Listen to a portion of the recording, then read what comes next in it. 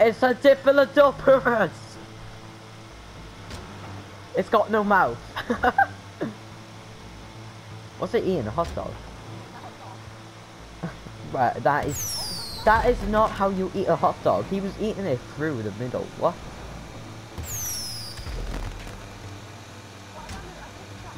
Look, look at this. Oh, shit! Bro, that was perfect.